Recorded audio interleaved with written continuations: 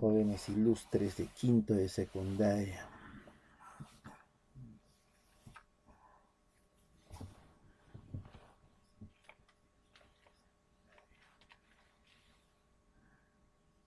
Confirmamos asistencia, ya rapidito.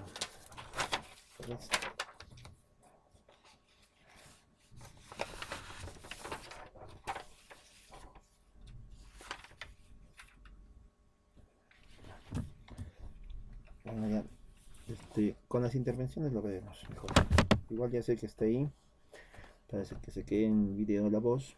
Lady, Antonella, Diana, Margaret, que es, sí, pues Margaret, Rodrigo González, Crisbel, Gonzalo, Ronald Pino, Sebastián Quispe, María Gómez, Lady Calcina y su emoticón, Cristian Joel, Vania Yáñez.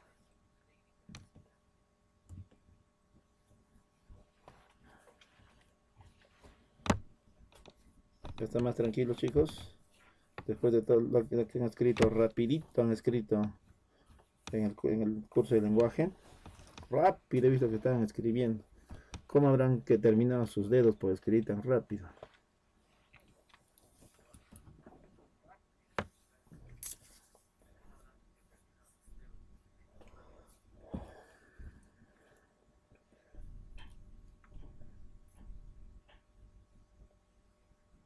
¿Hay algún problema con la velocidad, chicos?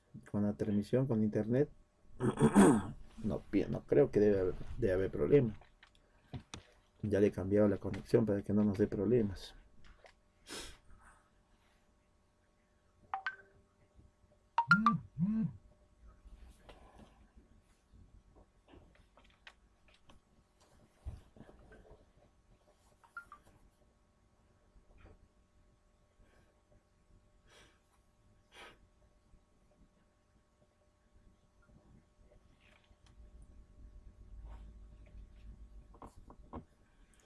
Lady no entendió nada del video. Ya, ya vamos a comenzar entonces, ¿ya? ¿Qué sucede, chicos? Lo que pasa es que el curso de comprensión lectora de razonamiento verbal.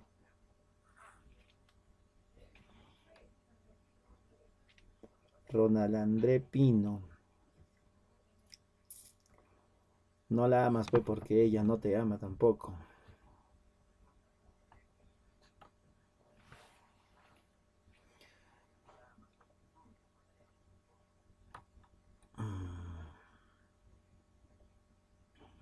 Ya. Ya, Lady y, bueno, este. Y para todos los demás. Comenzamos ya. Ya, ¿qué ocurre? Ahora estamos en el curso de, de este, razonamiento verbal en la parte de comprensión lectora. Sabiendo, sabiendo que, que ya hemos comenzado la clase pasada, ¿te acuerdas cuando hicimos tema, título, idea principal? Bueno, eh, entonces la parte, la parte de la comprensión eh, requiere que nosotros entendamos algunos, algunos detallitos. Lady decía, profe, no entendió el video. En el video lo que se te ha puesto tiene que ver con los niveles, niveles de la lectura.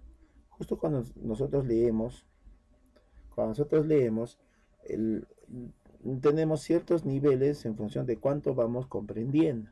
Me refiero al hecho de que si es una fábula, se le hace más fácil aún. Si es un texto expositivo, un texto narrativo, también sería más algo fácil. Si es un texto argumentativo, texto de opinión, un artículo científico, de repente se te hace más complicado. Si es un texto filosófico, mucho más difícil todavía. Entonces, tenemos ciertos niveles entonces, ¿verdad? Ciertos niveles. Ahora, los exámenes de admisión y los exámenes que tienen que ver con la comprensión lectora miden estos niveles de cuánto estás aprendiendo. En el nivel literal, porque aprendes solamente lo que, lo que está eh, escrito, en el nivel inferencial porque aprendes a sacar conclusiones y en el nivel crítico porque a partir de esas conclusiones o deducciones puedes incluso emitir tu opinión. Ya, esos son los niveles, Lady, para esos son los niveles. Y, y una parte que se complementa es cómo miden esos niveles de comprensión en, los, en las preguntas que te hacen. No es lo mismo que te pregunten cuál es el tema, donde solamente busca que tú encuentres la palabra que se está repitiendo en el texto, a que te digan se infiere que. En, en, la inferencia está buscando que tú saques una conclusión, un poquito más de razonamiento. En el otro simplemente observar lo que se repite y escribe. ¿Cuál produce más esfuerzo? Lógicamente la inferencia. Por eso son tipos de preguntas. Le hemos resumido este tipo de preguntas, chicos, en un cuadrito muy interesante acá. Bien. Las preguntas de comprensión lectora se van a dividir en dos. La de interpretación, aquí está, y las de extrapolación. Entendiendo que interpretación tiene que ver con interpretar o sacar una conclusión de algo que está en el texto. Profe, el tema es de interpretación. Claro, si bien es cierto el tema está escrito en el texto, pero a veces cuando no está hay que deducirlo. Lo mismo que la idea principal. Ni que habla del título, que es la suma de los dos. ¿Correcto? Entonces, más fuerte y más difícil será la pregunta de extrapolación. La tenemos aquí. En el esquema lo vamos a, lo vamos a ver mejor. Bien, tipos de pregunta. Dos grandes preguntas aquí. Las de interpretación. Y otra pregunta grande las de extrapolación. Dentro de la interpretación tenemos ahora sí dos tipos. La generalidad y la particularidad. O sea, lo general, porque porque no hay algo específico, sino más bien de todo vas a sacar una respuesta. En este caso, la pregunta que ya hemos visto en la clase pasada, el tema, la idea principal y el título. ¿Sí? Ya, María, de los Ángeles Mendoza, gracias por interrumpir. Ni siquiera sé si estás anotada, María de los Ángeles. Ya. Bueno, entonces generalidad, porque de manera general tienes el tema, la idea principal y el título. Ya lo hemos visto en la clase pasada.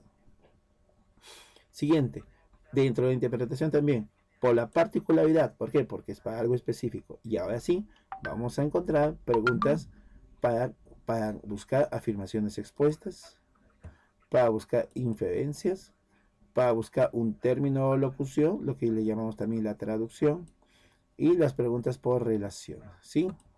La palabra se relaciona con tal. Ahí están los diferentes tipos de preguntas. Y la otra, que normalmente es la más difícil, las preguntas, preguntas de extrapolación, la negación y la condición supuesta. ¿Sí? Estos tipos de preguntas tienes que saber, porque en función a la pregunta tú realizas la estrategia para resolver tu texto. De acuerdo a la pregunta, repito, realiza la estrategia para resolver tu texto.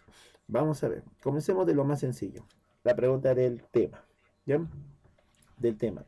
No te vas a dormir, ¿eh? no, vas a, no vas a irte por ahí. Mira, la pregunta del tema, que es lo que hicimos en la clase pasada. Sabemos que la pregunta del tema es encontrar eso que se repite en el texto. Encontrar eso que se repite en el texto. Entonces, la forma como llega la pregunta, el, tema del texto es, el asunto trata de, el autor expone que, el texto trata de. Una, alguna de las formas como llega el tema. ¿Te acuerdas que dijimos que el texto se tiene que cortar, se tiene que partir en unidades informativas? Vale, sí, en pedacitos. Ya, eso es lo que vamos a hacer rapidito acá. Dice, texto. El aborto inducido es sin duda la bestialidad humana más grande contra un ser, un ser que no tiene la culpa de estar vivo. Muchas personas lo condenan este acto como, como, pero muchos otros lo hacen aún sabiendo de que su vida corre peligro, pues generalmente se da en las condiciones más precarias y suele traer problemas psicológicos como depresión. Señores, acá, ¿de qué o de quién se habla? Lógicamente del aborto. ¿Sí, verdad? Del aborto. ¿Qué se dice del aborto? Que es sin duda la bestialidad humana más grande. Es la bestialidad humana. Hasta aquí se habla del aborto, que es la bestialidad humana. ¿Sí? Punto. Y bueno, ¿qué más se dice, no? Que muchos lo hacen. Acá está, ¿no? Muchos. Muchos lo hacen lo que estamos aquí es encontrando también la idea principal, aunque eso no es importante porque ya estamos viendo de qué o de quién se habla, ¿no? Pero bueno, vamos al punto seguido. Punto seguido se cuenta acá, ¿no? ¿Te acuerdas que tenemos que hacer una separación? Dice, es por eso que nosotros debemos formar un frente para luchar contra la indiferencia de responsabilidad y para velar por el respeto de la vida. ¿El respeto de la vida sobre quién? ¿Sobre quién? El tema cuál es, chicos, ya lo tienes, ¿eh? Ya lo tienes. Entonces, tema el aborto. ¿Sí, verdad? El aborto. Y ya está. He encontrado el tema facilito, facilito. Siguiente. Vamos a hacer este texto que dice, que dice, pregunta por la idea principal. Pregunta por la idea principal. O sea, idea principal, hablamos aquí de, de la intención del autor. La intención del autor.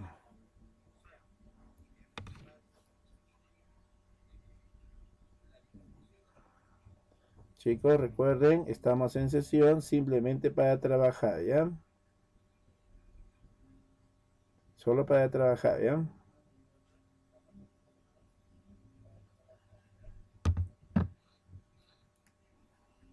Ya, ya está. Seguimos, ya, por favor. Solo para trabajar. Listo, seguimos. Idea principal. La idea principal, que también hicimos la clase pasada, es encontrar la intención del autor. Las formas como llega la pregunta. La idea principal es, la afirmación principal es, el texto pretende centralmente que, la idea que resume mejor el texto, la idea que mejor resume el texto correcto, ¿sí? Formas como llega la idea principal. Rápido nomás, vamos a encontrar la idea principal en este texto pequeñito, este texto, texto donde dice, a ver, leyendo y resolviendo, ¿ya? dice, ¿por qué la testigo? ¿Por qué no testiga? ¿Por qué no catedrática y sacerdote? tan mal suenan, ¿a qué llama la profesora cacofonía? Abrumaba a mi madre con tales preguntas y, claro, como mi madre un padre moderno, era, como mi padre un padre moderno, era mi madre quien debía por obligación responder. Ahí nomás chicos, ¿de qué o de quién se habla en esta parte del texto? ¿De qué o de quién se habla? A ver, ¿de qué o de quién se habla? Le está haciendo unas preguntas, ¿verdad? está haciendo unas preguntas y ella también se está respondiendo. Por eso dice, abrumaba a mi padre con tales preguntas. Abrumaba a mi padre con tales preguntas. ¿Sí? ¿Y cuáles eran las preguntas? ¿Por qué la testigo? La testigo. ¿Por qué no testiga? ¿Por qué no catedrática y sacerdota? ¿Sí? Y su padre que decía, bueno, como es moderno, y nosotros sabemos que si dice moderno entre comillas, no exactamente es algo denotativo, sino más bien connotativo, aquello que se puede deducir o puede interpretar algo más, ¿verdad? Bien, seguimos ya, dice, de ella fui aprendiendo que la culpa no era de mi profesora, de ella, ¿quién es ella? Ella, ¿de quién se habla? ¿De la? ¿Quién le respondió? La madre. De ella fue aprendiendo que la culpa no era de mi profesora de lingüística ni de quienes elaboraban los diccionarios, ya que en la preparatoria pude determinar que una de las raíces del problema era la cultura y que la revolución educativa era fundamentalmente para combatir el prejuicio. Entonces, pude determinar que las raíces del problema era la cultura. El problema era la cultura. ¿Sí? Y que había que estudiar para, para combatir el prejuicio. ¿Sí? Bueno, ahora chicos, ¿de qué o de quién se habla aquí? La persona está haciendo preguntas con respecto a por qué no se dice testigo o testiga en vez de decir testigo. ¿Por qué no se dice catedrático, catedrátrica, en vez de decir catedrático? O sacerdota, ¿por qué no se dice en vez de decir sacerdote? ¿Sí? Bueno, por eso que abrumaba y molestaba a mi padre con tales preguntas. Profe, ¿cuál es la intención del autor? Hablar acerca de qué? De por qué no se dice algo y luego en el género solamente se utiliza para el masculino, ¿verdad? Y si es masculino, es, eso es. A ver, las madres tienen siempre la razón. La cultura genera muchos problemas que se ven reflejados en la escuela. Debemos combatir lo moderno lo moderno no dice eso. Deben existir sacerdotas, tampoco tienen la intención de ello. El machismo como, problema cultural demanda una orientación en el proceso educativo. Ah, Habla de machismo, ¿verdad? ¿Cuál es la intención del autor? Del problema de la cultura y que la revolución educativa era fundamental para combatir el prejuicio. ¿Cuál es el prejuicio? ¿Cuál? El que el hombre, ¿por qué solo el hombre y no la mujer? Se llama machismo. Respuesta, chicos, respuesta, letra. La E de enano.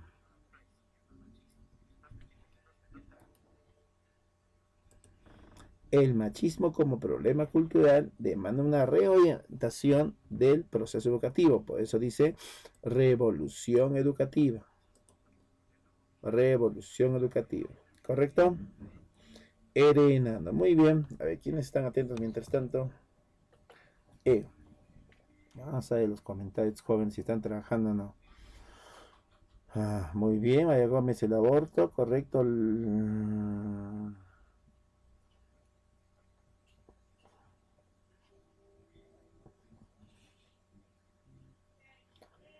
Ron Thor también, correcto.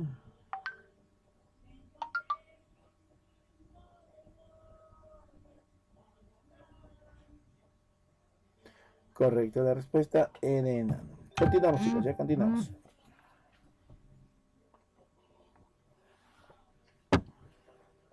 Ahora vamos allá del título. ¿Te acuerdas que el título tenía que ver con la suma de tema más idea principal?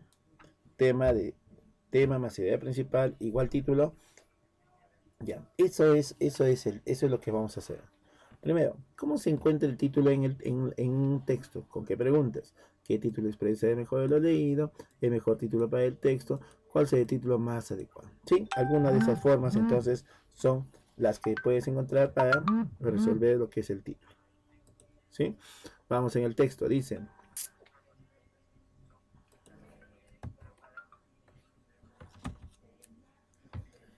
Dice.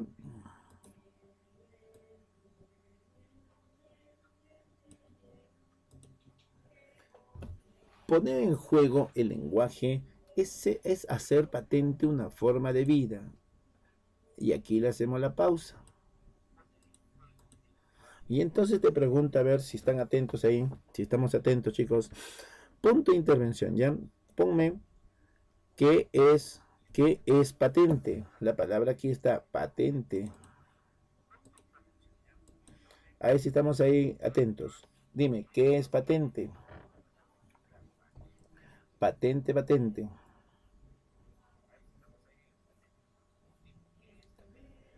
¿Qué es patente, jóvenes? Ahí hemos señalado la palabra patente. Poner en juego el lenguaje es hacer patente una forma de vida.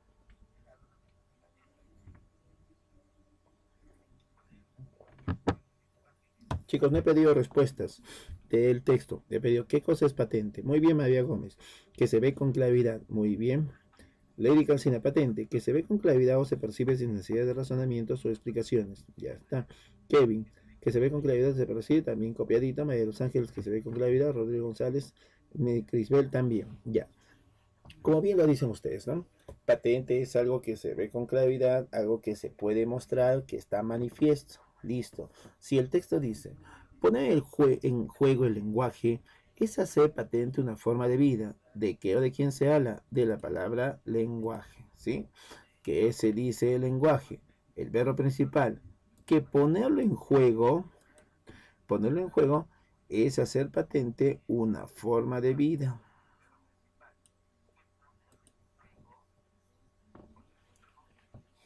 Es hacerlo patente, o sea, es hacer visible una forma de vida, ¿correcto? Es mostrar una forma de vida. Es hacer ver claro que es una forma de vida. Siguiente. Son alteraciones a veces imperceptibles lo que hacen de una frase, una mentira, una advertencia, una ironía o una orden, a veces el acto del lenguaje, parece sufrir mutaciones radicales que no obstante se convierten en patrones recurrentes, en formas que van dirigiendo la naturaleza de los intercambios del lenguaje. O sea, ¿cuál es la palabra más importante aquí? Que son alteraciones. ¿Y alteraciones qué son chicos? Cambios, ¿cierto? Acá son alteraciones los que hacen una frase a veces la, parecen sufrir mutaciones. Sufrir mutaciones.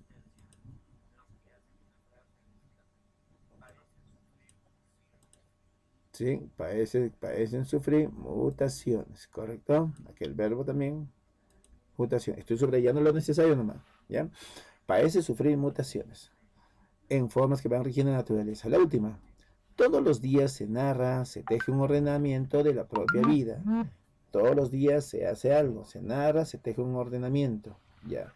Bueno, miren, vamos a encontrar el título. ¿ah? Todavía no me ha dicho nadie el título.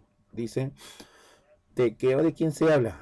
De lenguaje. Entonces, la palabra lenguaje debe estar en, la respuesta. Impresión del lenguaje, ya, profe, puede ser acá. Listo. Naturaleza homogénea del habla, no, ya, chao, no es la B. Control los intercambios del lenguaje, listo, puede ser acá. Uso cotidiano de la expresión verbal, no hay lenguaje. Carácter dinámico del lenguaje, también. Ya, tengo tres alternativas, A, C o E. Entonces, pero tengo el tema. Ahora me voy a buscar a la idea principal. ¿Y con qué la idea principal? Con el verbo principal. ¿Te acuerdas que el verbo es importante? Listo. El primer verbo, poner en juego, ponerlo en juego, es hacerlo patente. ¿Sí? ¿Qué más? Acá, son alteraciones. ¿Qué cosas son alteraciones? Cambios, ¿verdad? Cambios, este, modificaciones. Parecen sufrir mutaciones, o sea, cambio otra vez. Cambio, porque mutar es cambiar. Señores, mira, el tema es lenguaje y lo otro tiene que ver con cambios, mutaciones, alteraciones. Y todo eso es hacer ver una forma de vida del lenguaje. Forma de vida. A ver, señores. Respuestas. A. Impresión del lenguaje. C. Control de esos intercambios de lenguaje. Control. Control. No, ¿verdad? La C no es. Carácter dinámico del lenguaje. Chicos, ¿qué cosa es dinámico? A ver, a ver, otra vez, pregunta.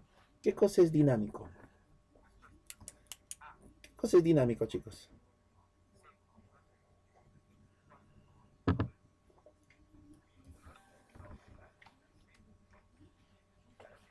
Todavía no me han dado la respuesta. ¿Qué cosa es dinámico, chicos? Tengo la A, la C o la E. Dime, ¿qué cosa es dinámico? A ver, Cristian, muy bien. ¿Qué implica movimiento lo produce? Ya, es correcto, Cristian. Punto para Cristian por intervenir. Cristian, muy bien, Cristian. Este Chris B dice que implica movimiento también. Que implica movimiento también me dice María Gómez. Listo. Ya. Entonces, dinámico es algo que implica movimiento. Ya. ¿Y qué se está diciendo en el texto? Se está diciendo imprecisiones, como dice la A. Se está diciendo control de los intercambios, como dice la C. O se está diciendo carácter que implica movimiento del lenguaje. ¿Cuál es la respuesta? A, C o D. A, C o D.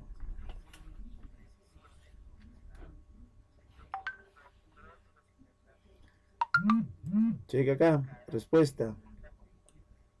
Carácter dinámico del lenguaje. Esa es la respuesta, chicos. Ninguno. Ninguno. O sea, porque dice carácter del lenguaje. ¿Por qué? Porque las características del lenguaje que nosotros conocemos es entonces, es entonces dinámico.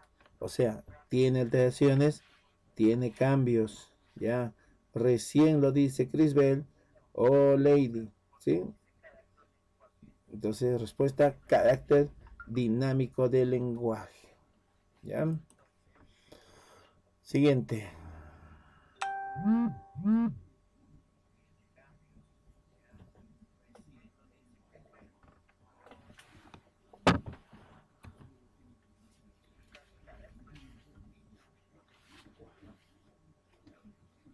Seguimos. Vamos. Ahora vamos a la pregunta, dice, por su particularidad, y la primera dice, afirmaciones textuales, afirmaciones expuestas, donde tienes una textual o tienes una equivalente. Y aquí viene la diferencia. Fíjate para la teoría y la subrayada. La pregunta será textual cuando lo señalado en la opción resulte literal. O sea, si es textual, es lo mismo que decir literal. Vale decir o sea, que es exacto, exacto, exactito, con lo que está escrito en el texto. También dice esas afirmaciones expuestas. Y si y será equivalente, acá está, y será equivalente cuando lo expresan en o sea, en el planteo en el texto coincide en el contenido. Cuando coincida en el contenido, vale decir que no es que lo que está escrito, sino es lo mismo, pero con otras palabras. Repito, chicos, repito. Para responder esta pregunta tengo que saber diferenciar entre algo textual y algo equivalente. Algo textual es cuando se reemplaza con las mismas palabras, ¿sí? Y algo y algo aquí equivalente es cuando en el texto coincidan en el contenido. Acá está, coincidan en el contenido. ¿Ya? Eso es lo que hay que hacer. Ahora, lo que tenemos aquí en un texto dice a una pregunta de afirmación expuesta o textual. Acá tengo otra pregunta, una pregunta de afirmación expuesta equivalente.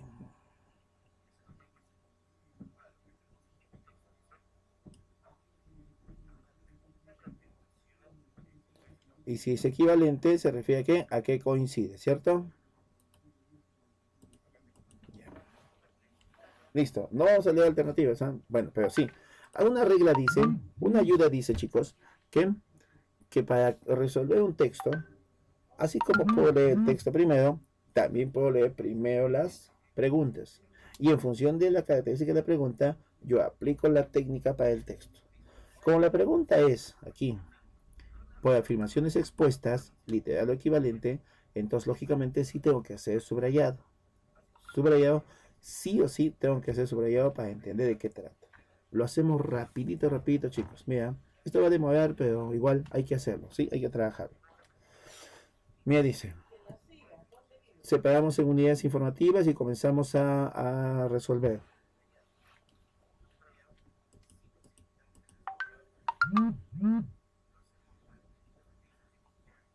Dice, hacia 1957, la astronomía ha sido una ciencia de observación. Ahí nomás. ¿Qué subrayo? Mira, el año y lo que se estudia. Ciencia de observación. ¿Qué se dice la astronomía? Que hacia 1957 ha sido una ciencia de observación. Vamos a poner eso ya.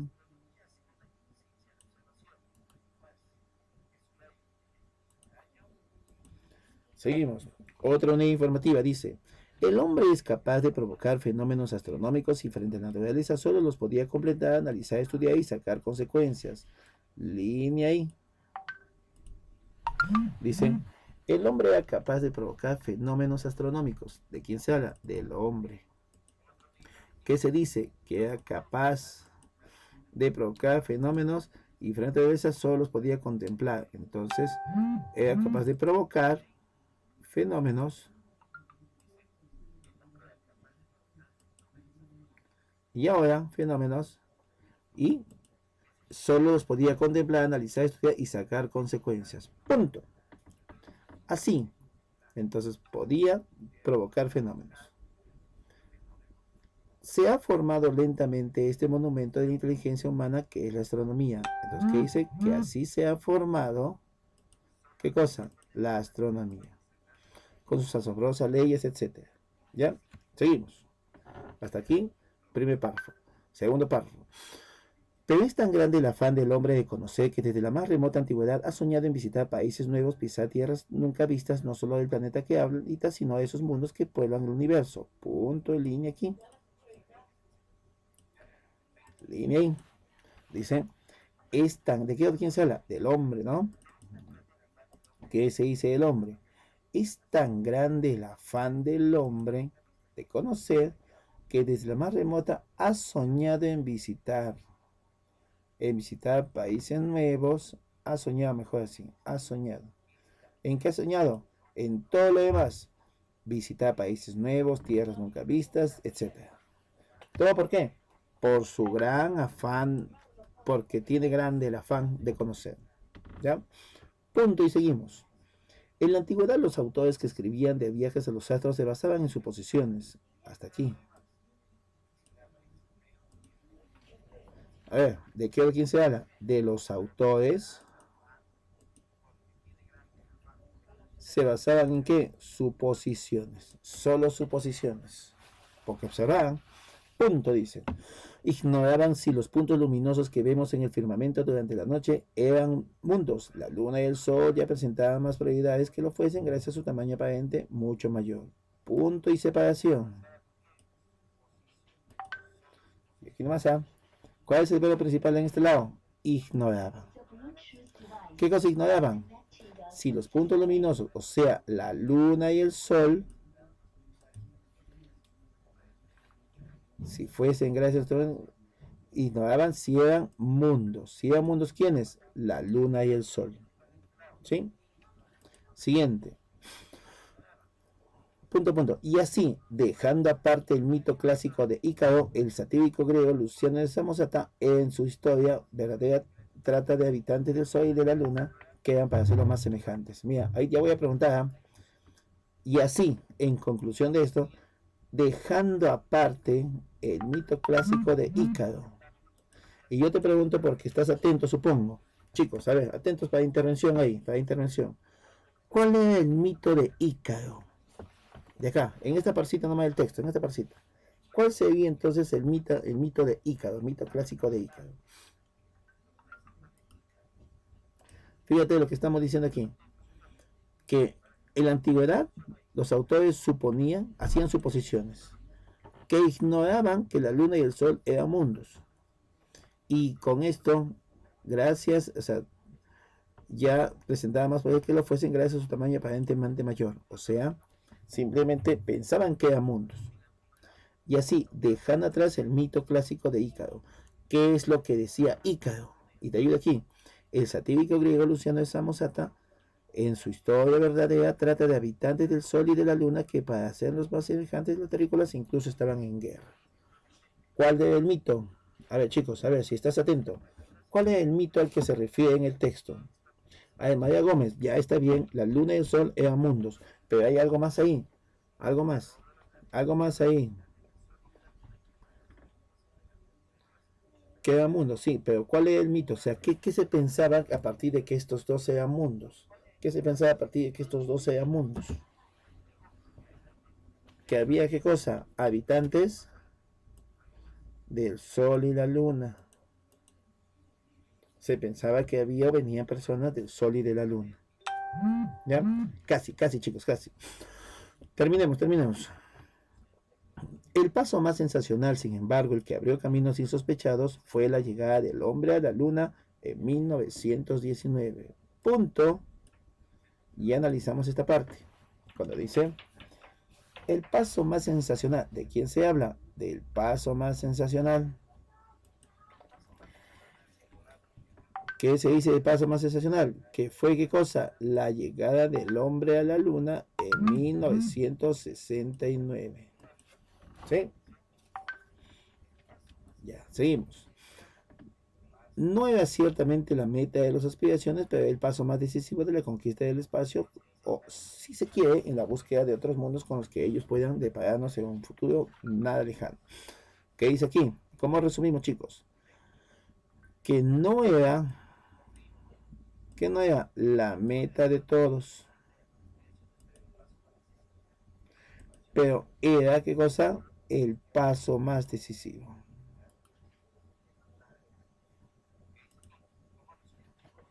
Ya, listo. Ahí nomás, ya terminamos. ¿ah? Vamos a responder al ojo estas preguntas. Pero antes, la regla que dice del subrayado, chicos. Entendamos la regla. La regla es que hay que saber. La regla del subrayado dice, primero, se subraya en la segunda lectura. Por eso hemos hecho una lectura primero y luego hemos, hemos señalado o hemos resaltado como si fuese un subrayado. Segundo, dice, solo se subraya conceptos, solo se subraya pedacitos, pedacitos, así como lo, que, lo que hemos señalado. No es toda la línea, sino más bien pedacito, pedacito. Tercero, lo subrayado debe ser resumen del texto. Repito, lo subrayado debe ser resumen del texto. Mira, checa. Vamos a leer lo que está señalado. Dice, 1957, la astronomía, una ciencia de observación. el hombre era capaz de provocar fenómenos. Así se ha formado la astronomía. ¿Sí? Pero no es tan grande el afán del hombre que ha soñado, dice, ha soñado muchas cosas, y que los autores dicen tienen suposiciones, y qué más, ignoraban que el mundo, que eran mundos, la luna y el sol, bueno, pensaban ellos, ¿no? Y con esto, con lo que observaban, dicen, dejando aparte el mito clásico de Ícaro. ¿Qué decía Ícaro? Que los había habitantes del Sol y de la Luna. En todo caso, dice, el paso más sensacional fue la llegada del hombre a la Luna en 1969, pero no era la meta de ciertas, de meta de todas, era el paso más decisivo. ¿Sí? Vamos a las preguntas, chicos. A ver qué dicen. Pregunta de afirmación expuesta textual. Y si dice textual, chicos, si dice textual, entonces ¿qué ponemos? Si dice textual, debe ser literal. Si dice textual es literal. ¿Qué cosa es literal, chicos? Que está escrito en el texto. Que está escrito en el texto. A ver, sobre la llegada del hombre a la luna. A ver, ¿sobre qué? La llegada del hombre a la luna.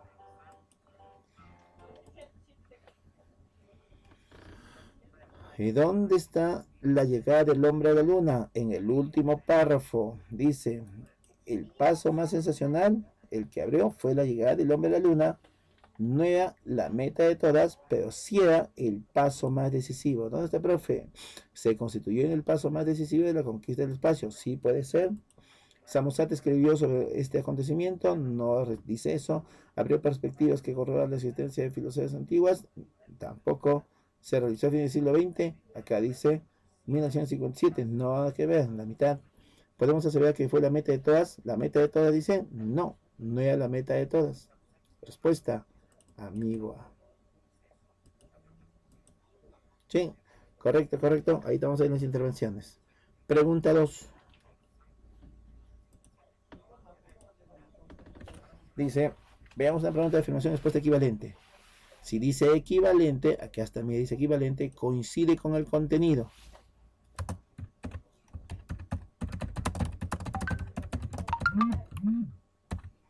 Coincide con el contenido. O sea, es lo mismo, pero con otras palabras. Es lo mismo, pero con otras palabras. A chicos. El ser humano a través del tiempo ha desarrollado una propensión. O sea, está propenso a qué? A desarrollar una propensión, a ver chicos, a descubrir su origen, no. A la búsqueda de los conocidos, sí puede ser. ¿Conoce eso de la luna? Ya existía. ¿Las más insólitas afirmaciones? No. A la respuesta, a ver. En la búsqueda, Rodney, correcto Rodney. En la búsqueda de lo desconocido, ¿sí? Porque ¿qué dice en el texto? El hombre, a través del tiempo, es tan grande el afán el hombre de conocer que desde la, desde más remota antigüedad, o sea, a través del tiempo, ha soñado en visitar países nuevos, pisar tierra nunca vista, no sé el planeta que habita, sino los mundos que por él en universo. Por lo tanto, siempre, siempre dice, a través del tiempo de su propensión, es propenso a la búsqueda de lo desconocido. ¿Sí? Listo. Y ya está. Resuelto el problema.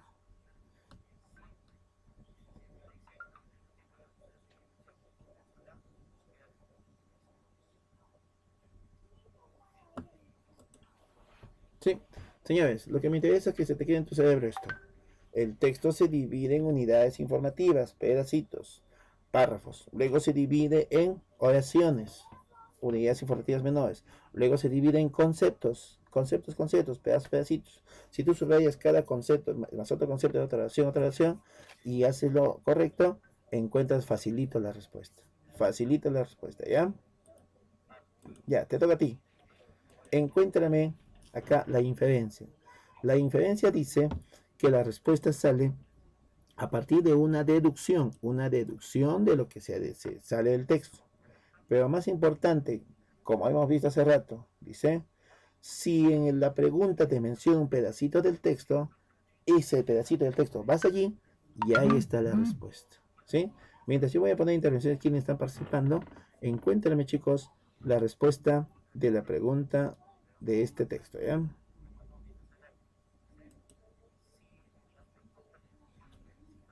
Vamos chicos, trabajando, trabajando. Vamos a poner los puntos jóvenes. Encuéntrame la respuesta ahí.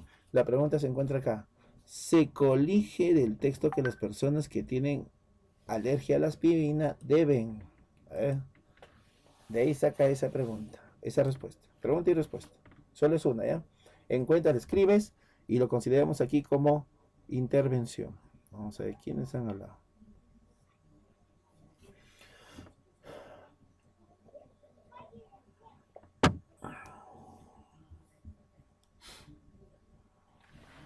A ver, intervenciones. Lady Cancina, Roger Torres.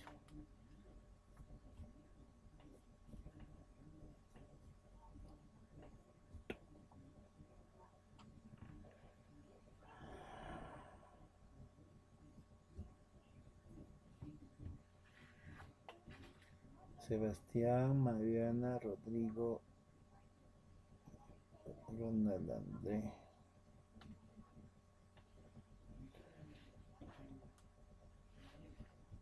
Ya.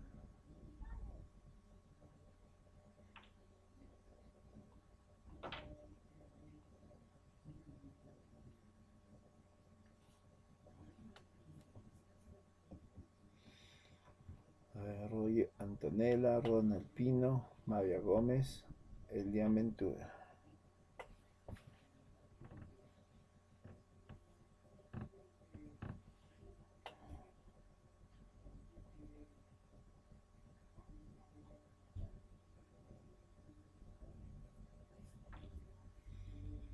¿Qué más han intervenido? Elian Ventura, Cris Ben, Sebastián Helio, Mariela, Rodrigo González.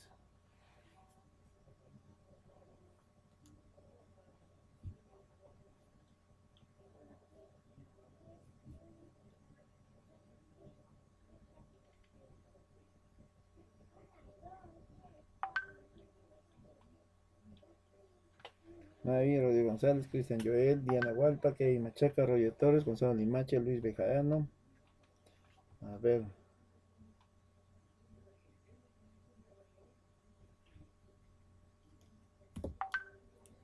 ¿Por qué este joven sigue aquí?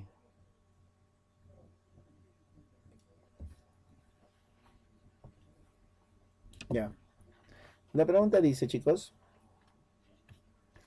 La pregunta dice las personas que tienen alergia a la aspirina, acá está, esta parcita es importante. Alergia a la aspirina. ¿Dónde está esta parte del texto? Acá. Mira. No hay respuesta, ¿sabes? No hay visto respuesta todavía. Alérgicos. También deben tener cuidado al combinar sus alimentos. También deben tener cuidado al combinar sus alimentos. ¿Por qué? Esto se debe a que el salicilato y tartracina, ingredientes de la aspirina, suelen estar presentes también en las comidas, tanto en forma natural como a través de aditivos o preservantes. Entonces, si dice, con la respuesta, mantener una dieta con... Respuesta, chicos, correcto, mantener una dieta controlada. Sebastián, María Gómez, Adrián Belita, Rodrigo González.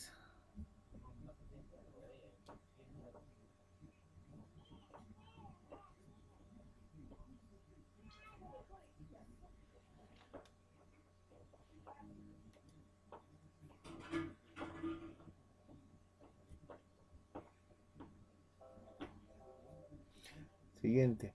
Gonzalo Limache, Elia Ventura, Kevin Mancha, Diana Gualpa.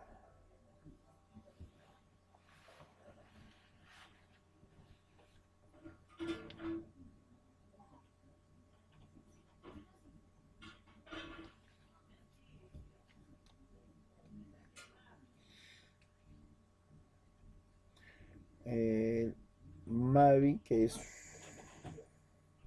Mariela. Crisbel, ya está. Listo, jóvenes. Nada más. Nada más, nada más. Hasta aquí llegamos entonces, entendiendo chicos, que hemos avanzado prácticamente dos páginas, ¿ya? O sea, vas a enviar las fotos del, del trabajo, quinto. De repente, si no quiere la primera, ya digamos de lo trabajado, ¿no? De las dos, tres, cuatro. De las tres páginas últimas, sino de las cuatro. Pero siempre con tu nombre, siempre con tu nombre para, para poder identificarte, ¿correcto, chicos? Nada más en la parte de razonamiento verbal, ya hemos pasado este tema de textos. Tienes para trabajar lo demás. Y bueno, ya, nos vemos la siguiente clase día jueves. Jueves, jueves, ¿ya? Nos vemos chicos. Chao, chao, chao. Se acabó la hora. Chao chicos. Hasta más tarde, hasta las 6 de la tarde, envíes a WhatsApp personal profesor. Chao.